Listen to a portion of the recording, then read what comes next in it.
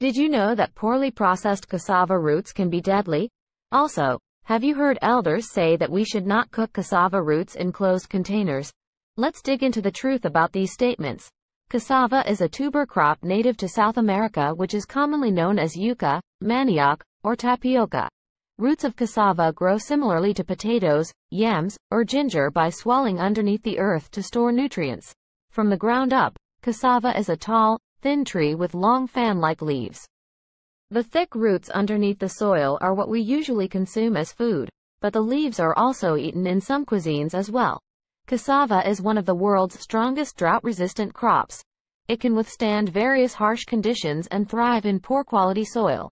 As a result, cassava has become a predominant food source throughout the developing world. And today, it helps feed over 800 million people across Latin America, Asia, and Africa.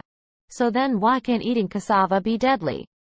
The truth is eating cassava in raw conditions is what makes it deadly. Because, cassava roots, peels, and leaves contain two types of cyanogenic glucosides, named linamarin and lotaustralin.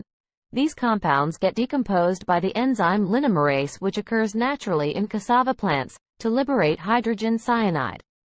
These linamarase enzymes and cyanogenic glucosides are kept separately within the plant cells but if the tissue is damaged, for example by a bite, the two get mixed and rapidly release the hydrogen cyanide. Further, enzymes within our digestive system can also liberate hydrogen cyanide from the cyanogenic glycosides if ingested. Hydrogen cyanide released from this process is extremely toxic to humans and other living organisms as it stops cellular respiration.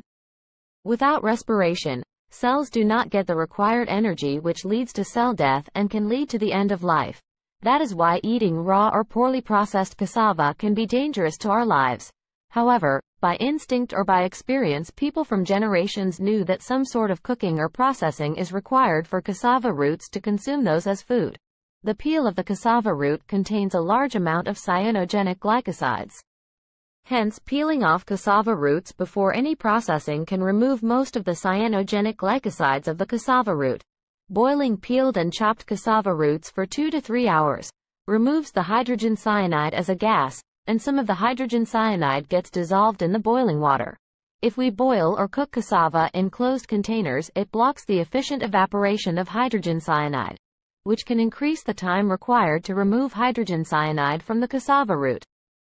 This could be the reason some people say not to boil, cook cassava in closed containers. Further, the boiled water from cassava should not be reused for any purpose as it can be enriched with dissolved hydrogen cyanide. Other than boiling, it is considered that soaking peeled and grated cassava roots for several days until fermented followed by sun drying or roasting is safer in large-scale production of cassava flour from cassava roots. Some research suggests that boiling after fermentation can ensure almost complete removal of hydrogen cyanide from cassava flour instead of just boiling or fermenting. All these processes promote enzymatic degradation of cyanogenic glycosides in cassava roots to release hydrogen cyanide and make them safe to eat. Another thing to keep in mind is there are two types of cassava varieties, sweet and bitter. Bitter or wild varieties have a higher amount of cyanogenic content compared to sweet varieties. Hence, bitter varieties are not recommended for human consumption. For your knowledge, in September 2017, an outbreak of suspected cyanide poisoning, involving 98 cases with two deaths, occurred in western Uganda.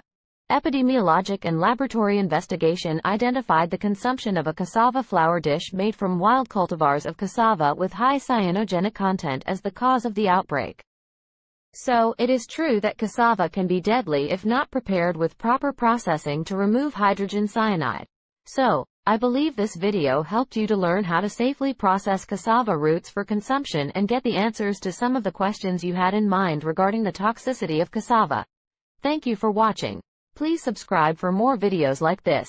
And comment on your thoughts or questions you have.